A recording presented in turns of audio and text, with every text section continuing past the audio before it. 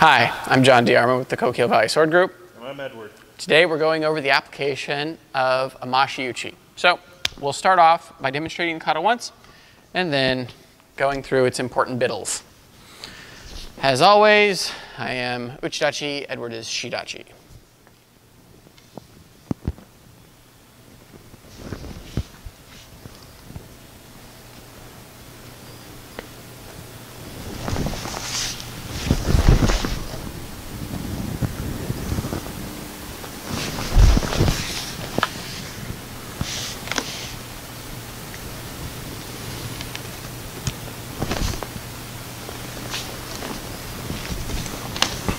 Good. Straightforward, simple. The beginning is like so many of our kata, nothing special, nothing special, nothing special, right? Here's where it happens, right? It's in this, where we go from this sort of relaxed position to where we start baiting him in, right? Now, just like um, uh, Mojiri, right? You're, you're, you're not trying to be like, right, and show them that you've got some sneaky ninja plan. You want to mix it, right? And you're just, you're just offering that as you get excited. As you get excited, you make them think that you're losing your uh, balance and uh, really make that a much closer, easier target for them to start going for, right? Because that's what this Amashi idea is all about. It's all about that invitation, the, uh, the pawn sacrifice, right? They make that cut, and you take them, right? Boom. Uh, there are lots and lots of ways to go about this, um, but we'll show that sacrifice idea more when we get away from the swords and start looking at other applications. For right now, I want you guys to start thinking about how uh, our body interacts with this decision to sacrifice and move in, right? In the kata, in the pause version, there is a step, clear, you come to a nice comfy position, you know, it's very, uh, uh, refined. Gentlemanly. It is. It is, it is very uh, gentlemanly, right? In the no pause version, it is uh, much more accurate to the spirit of it. But in both of these, we've got to kind of get our body into a position where we can use it. Because obviously, if I just clear this out, boom, he follows right away with a thrust. He's going to take me anyway, right? To the body or the face, doesn't matter. So I still have to follow this fundamental rule of moving my body out of the way, whether I'm doing it from one hasso to another hasso, real just straight up and down, or whether I'm just slipping in here real close, you know, in this space of the sword as opposed to off in this space of the sword, right? Now, as you should know by now, having watched all the Tachi Seiho and hopefully practiced them, uh, in Hyoho, our evasions uh, are quite close. We, we prefer this closeness not because we're trying to uh, sneak past them necessarily. In other words, when Eddie cuts at me, I'm not trying to like, right, just get in here close to him like that. What I'm trying to do is one, not alert him to the idea that he's not going to hit me. Two, hit him in the most direct time possible in that absolute moment, right? Right? Right when he hits me, boop, I hit him. Or rather, when he thinks he should have hit me, boop, is when he gets hit. Because that's the point where he's at his weakness. Weakest. Weakest. weakest. Weakness. That's the point when he's at his weakest. Weak, weak, weak. So, with this work, with this body work, there are lots of ways to go about this. If they're coming in uh, with kind of a, a strong step, right? They're really pushing you. It might uh, work better to pull off footwork like from Torobori, right? To move the foot forward and to move the other foot back. Um, for a committed attacker, this is what I tend to use in sparring, right? If the person is either reticent or uh, they're, they're treating it like a game of tag with uh, bamboo swords, like, hee, hee, hee, tries like, I want to win, I want to win, right? Then it's better to get that step in, right? Because as they're starting to retreat, you still take them, right? So it's just, uh, it's another place that you can practice those tools of adjusting with your partner's dimension. Um, in many styles of martial art, there is a, a popularized idea that you should have a technical answer for problems. So if Eddie cuts at me, my technical answer should be uke nagashi, right? And so whenever he cuts at me, my answer should be uke nagashi, right? But of course, this uh, this falls apart once people are free to behave how they want, right? And suddenly his his cut becomes more dynamic, and my my uke nagashi just crumbles into nothing, right? Uh, with with combative arts, really combative, not just I'm in adult daycare with really comfy PJs and bright shiny belts. They are comfy PJs. Um, but in, in combative arts, right, we realize that this dude over here, he's just chaos. He's chaos and craziness. We got no idea what's going on with him, right? And so we have to be the stabilizing influence, right? Not that we're like exerting our stabilizing influence brainwaves at him, but that uh, if we think of this as like a universal equation of balance and harmony, right? yeah, yeah, we're going full woo woo, right? If my opponent is just, and I have no idea what's going on, then I have to be that, that stable sort of, right? Right? To where I have my posture, I have my position, I have my, everything I do in my body is controlled, and everything I do to my opponent gathers and controls him, right? It, uh, it's like when you want to give a cat a bath, right? When they don't like water. What do you do? You take a cover or a pillowcase or a towel, you put it over, go whoop, and you just wrap that sucker up, right? Same thing is happening here, right? You just wrap that sucker up. You have him under control, and you uh, uh, resolve the interaction uh, as is appropriate. Right? So, moving with your body is, of course, a huge part of that. But don't feel don't feel married to the kata stepping. Don't think that like, okay, well if when I cut, if I'm not in a perfect koshimi hanmi, right, then I'm not doing Hyoho.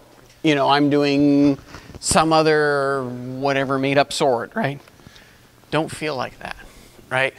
Because that's not reality, right? reality is you adapt to their work. Now, does that mean, you know, we just, oh, well, we just why do we learn that if we're never going to use it? It's not that you're never going to use it. It's that we are showing you how to interact in this one example in a way that provides benefit to you, in a way that may seem uh, uncommon. Because if it was super common, we wouldn't have to show it to you, right? Right? And if this is something that, like, maybe you are either part of a style that is very rigid or uh, you, have been indoctrinated with uh, this sort of like internet zeitgeist that like, oh, Koryu is one way every time, always, right? And if you've deviated, that's not Koryu, right? Go on YouTube and pick, you know, five or six Hyoho videos, right? Uh, look for ones that are, are done by Hombu, like the group in Japan, like the main section. And you will see their work done differently in every single one of them, right? And now you can you can say, oh well, this was Embu and that was a private viewing, and so there's that's the and that's it's apologist, right? That, that's not real. Right? What's real is that core Koryu changes. Core Koryu changes and evolves because fighting changes and evolves. I've got to adapt to my situation. First kata. Yeah. That's a great example. Yeah, Sasen, right? So we all know the Sasen we do now, right? Unless you're in the um, uh, Yamato-ha, right? In which case their uh, their their their Koshimi Hanmi is different, right? Or if you're doing uh, Traditional. the older method, or you know, it, it goes on and changes on and on and on and on between the various branches, between the various years, between who is soke and you know what they bring. I mean, if you look at Imai's work next to Kajiya's, like they're they're doing the same katas kind of for sure. But they look completely different in all of the tiny minutia that people think that Koryu's about. Because they I mean it's it's normal right? Because Koryu's like this secret knowledge. And so we imagine that well if it's secret the secret must be in like the subtle details. It's like oh my wrist is at a 45 degree angle and that's what lets me do my ninja bullshit and that's not the case right it is Get that thing out of the way. Okay, I, it's not the case for Hyoho, right? Maybe in, in later era styles that are more focused on sort of one on one dueling, right? Where techniques become more important because you're just having a technical confrontation with a dude, then maybe that minutia becomes the secret key. But for older work like ours, it's that's just not the way it is, right? The secret, which isn't a secret at all, is just teaching people to adapt to their situation and to think in a way that's going to let them survive, right? To move from uh, this kind of fencing, right, where I'm being led around by my own insecurity, to fencing where it's like, okay, right? And you just work the dude. Right? Or you just come in, it's like, I'm doing it. Doesn't matter where his sword is, right? Bah. Boop. And you work the dude, right? You just get it done. Right? It doesn't mean I'm just like, yo, and just like Get frisky. running at him with no uh, With no. with no end. method, right? It's uh it's so much else? yeah, it's so it's so much more psychological than Then little. technical, right? Uh, it's not to say we don't have technical work. It's saying that I'm on the wrong side. I, I don't like this. Oh, okay. That's fine. That's fine. Right. Maybe you should adapt to your. Uh... okay, uh, we're we're getting a little long-winded with this, so let's uh, cut it there. Think about it, right? We're not talking to hear ourselves talk. Think about the work deeply and swing the damn sword with your partner if you want to understand it, right? Otherwise, it's just cosplay. It's I'm I'm, I'm tying my hakama, I got my keiko gi, I can, right? And you can you can We don't have that. you can do your stuff and you can feel good about that and that's fine, right? But if what you're going for is to understand this concept, this this thing that Musashi spent his whole life on, then you gotta you gotta approach it like he did, right? You gotta you gotta hunt ruthlessly for that uh, essence, right? Anyway, so let's go ahead and show this work with Fukuro Shinai. Oh god. Oh yeah, Give me whichever. pick your poison. There's god. You can take the thickie. right? So for this, Eddie's going to feed attacks, um, just because it's convenient, right? Right. Right. So, Kissaki Gaeshi, boom, just like in Mojiri Gamai, but applied with that same strategy, right? Right? Toraburi, same thing. Be like, hey there, how's it going? And you get How's really it- close in. Yeah, yeah. Well, you want to, right? You want to, you want to take him. You want to, right? So you get the idea, right? It's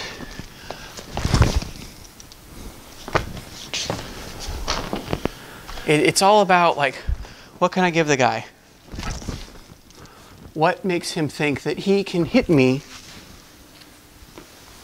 So he Right. gains enough confidence. Yeah, so that he comes in and gets the job done where you want.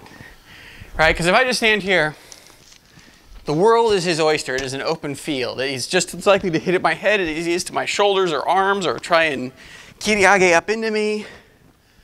It's everything, right? I start putting bait out for him. And now he can go basically one of two ways. He'll come from over top, he'll come from underneath, right?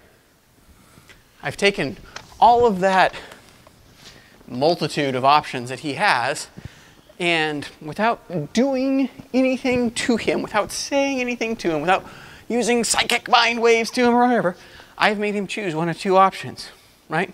Down. Now, does that mean he'll ch- always choose that? No, of course. Of course, I can be out here and he can decide I'm not going to do any of this and he's going to try and do something else. But it doesn't matter because it is not so much to restrict your enemy's movement, movement as it is to focus your own mind on the task at hand. Because when your mind is um, uh, jumbled with what's going on, like, oh shit, oh shit, where's he coming? Where's he coming? Right? And you have to start thinking, he's going to be here, he's going to be there, he's going to be here, he's going to be here. If he's here, I'm going to respond this. If he's here, I'm going to respond this. And you start trying to like pre-plan your defense. You're you're going to be behind in time, right? That's You- a bad thing. It is bad, right? You you you lose the initiative. More importantly, you've lost this spirit that is the cornerstone of our style, right? But when I trick myself, I think, okay, well, he's going to be here here, and I'm just, whoop, right?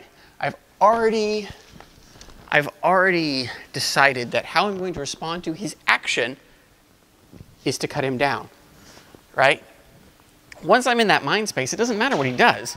It doesn't matter if he does something completely off the wall. I can respond to it, right? Because my mind is already tasked there, and I said, thinking brain makes the decision and stops. It doesn't have to do anything after that. Everything else is subconscious. Everything else is way of the void, right? And it's just, right? It's it's uh, It's not muscle memory. It's just no, it's it's it's not muscle memory exactly. I mean, there's of course there's muscle, muscle memory, memory involved, but it, that's not what it is. What it is is just this relegation. You you move your mind from being the active micromanaging drone controller to the dude watching Star Wars, right? You're just sitting back. You're not doing any of that stuff. You're just you're just watching it unfold. And so when he takes that swing, you're just watching it unfold as you go. You don't have to you're, you're not a you don't have to micromanage it and because you don't have to micromanage it you completely break apart the the OODA loop right? You don't have to observe and orient and decide and act or kind of like how you walk. You don't really think on walking. yeah yeah exactly. You choose a destination and it's like oh i want to walk here. And your body starts going. What are you doing while your body's walking? You're thinking left right heel toe. Yeah, you are if you're doing sword work in the beginning you're like oh god i don't even walk right. I don't breathe right. I gotta fix everything. Or these japanese people from the past are gonna whip me right but once you're comfortable right you just walk So what's what your- you want. yeah, what's your what's your mind doing? Your mind's thinking on some other stuff. It's looking around. It's going, oh, I'm observing this. I'm having an argument in my head with some person I should have said this and this to, because you know, got that anxiety over the past, oh. right? I love it. So you want to free up your mind to observe because then you'll see what's going on, right? Then you'll see like like oh, right? Okay. I can put myself where I want just because I observe like wow, that's close, right? Boom, I better take this here in case he does some squirrely stuff in this space, right? Or maybe I'll come in and work to, to down him, right? Or, or whatever, right? So let's go ahead and show this work with some knives. Oh, a knife. That's mine. What? Knife. It's dirtier. I like it. Yeah. okay, so uh, pretty simple, pretty easy, right? Now, up till now, all the sacrifices we've been doing have been implied sacrifices, right? I, I am implying the sacrifice to my arm. But, of course, uh, if need be, we can do this without implication, right? Right? So, he can't get to me without going through that arm, right? Now, of course, if I've got work, I can use it to protect myself, right? And, and sort of develop my position from there. But it's this idea, right, that even if, uh, even if I am forced to sacrifice this arm, this versus that, this is not going to kill me, right? It's going to suck. It's not going to be fun. It's going to suck a lot. Hope you like super glue. But, you know, four, five, six, seven cuts on my forearm versus perforation, In the vittles. right? It's easy math. Easy, easy math. Of course, you know, you can still do that implication, right? To where it's just like, oh yeah, he's totally gonna hit me. They come to cut, and just, doop, door. right? You can adjust. And there's, there's just so many ways of doing this work. Uh, what's important is their perception, right? What they think they've got, what they think that they have to interact with first, right? Bump, bump, bump. Right? It's, uh, it's, it's simple. So simple, right? If we work to open-handed work, it's the same way. If I'm out here and he's got to interact with my arms, right? Then I can control at what distance he moves. Now, uh, as always, when you start working with uh, empty hands, things are happening a lot faster, right? Because things are closer, right? They are they're not as dangerous, right? Because that force is always spread as compared to the point of a knife or the edge of a sword, or the weight of the sword even. Um, but it is faster, so it's it's very useful to play with these techniques open-handed, so you get accustomed to people moving quick, right? Because uh, just people moving quick, uh, especially in, in the beginning of your studies, is enough to uh, disturb you psychologically. And you start going, oh, right? Oh, you start to have feelings about it, right? And you shouldn't, right? This is like, if he wants to move slow or fast, doesn't matter, right? It, it, it should not uh, disturb you, right? And if it does, one or the other, you, you need to work with your partner and be like, okay, I want you to just keep doing this until I feel nothing about it, right? Until you have so much exposure to it, it's just like, oh, you're going fast, right? It Doesn't change my work. Oh, you're going slow, doesn't change my work, right? When what they do completely contorts what you do, they're in the lead. and that chaos is driving you where it wants. And that's not a good end for you unless you're real lucky, they're unlucky, right? So, um, we can apply this to uh, sort of ambush attacks too, right? Because the same kind of thing's happening, right? he's doing work, uh, right? And I'm not sure what you're doing. You, you grabbing me? Yep. Okay, that's very non-lethal. I like that. Right? So, here, you give me a hit or something. Okay. Right? I take that hit. I'm like, oh shit, I'm in the middle of a fight. And then I go, okay, well, he had to position himself some way to be able to do this, right? Yeah, I'm taking that. I'm, oh fuck, right? Boom, boom. I respond to his position, right? To his relation.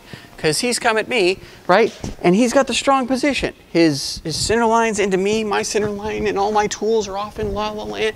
He hits me, boom, right? And I go, oh shit, right? I gotta clear, right? And protect his kidneys from the other hand. And all of a sudden, boom, now our relation is completely reversed. I'm on the center line. He's in la la land, right? and you gain control of the position in this kind of way. So uh, don't think of this kata just as some gotcha, like, like, oh, gotcha, right? that that's like that's the lowest level of it. It's the most juvenile kind of like, right? Instead, you want to think, hmm, I need a quick way to resolve this. I can't have him dilly dallying while his friends build up while the position develops poorly for me, right? Now, if I'm the one with friends coming, yeah, I'm going to dilly dally. I'm going to keep this guy maybe, right? Because I want to win. And if I've got, Friends sure if I've got friends, that's, that's a very good thing in my corner, right?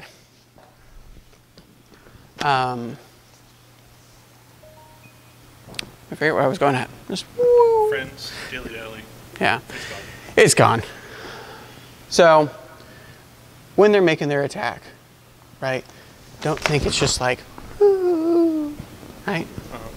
Think about it as uh, forcing the development of the situation, right? Like, like, huh, huh, huh, right? Boom, boom, Ooh, that's a bad tone. right? You can make it germinate, right? So you're not stuck in this sort of like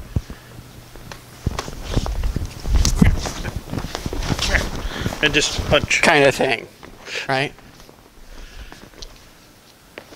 Because again, if you're overwhelmed by the options that the opponent has, you just take them away, right? Right? Hey, you take them away. You, you adjust the work, right? I, I, I don't know how much sense this is making, We're going on. We're Well- rambling. but that's that. Um, to surmise, or to summarize rather, uh, with this work, you have to be calm, you have to be focused, just like all of our other work, right? The only thing that's different here is I'm intentionally creating a target for him to work on, right? And I'm working from that position, right? Not because I assume he's going to take that target, but because I assume he's going to take a target, and I'm moving in relation to uh, improve my relative position to him, right? Once I've got that position improved, it works real easy, real, real easy, comparatively, right? I think that that is about it. Do you have anything to add, or?